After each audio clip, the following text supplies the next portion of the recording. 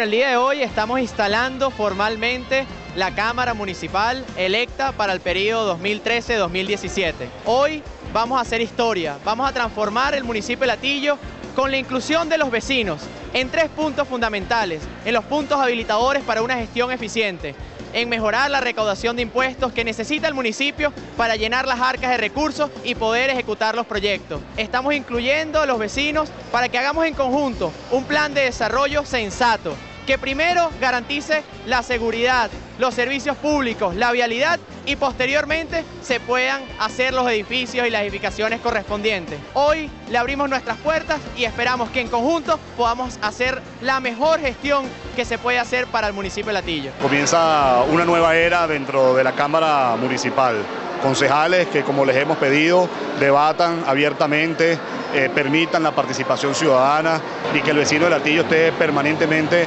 enterado de lo que se discute y de lo que se aprueba. Y acá está su alcalde también que forma parte de la unidad para apoyarlo, para trabajar en conjunto, para garantizar gobernabilidad en el Latillo, que se traduzca en mejorar la calidad de vida de los venezolanos y que se traduzca en la defensa de la descentralización y la democracia que hoy está seriamente amenazada.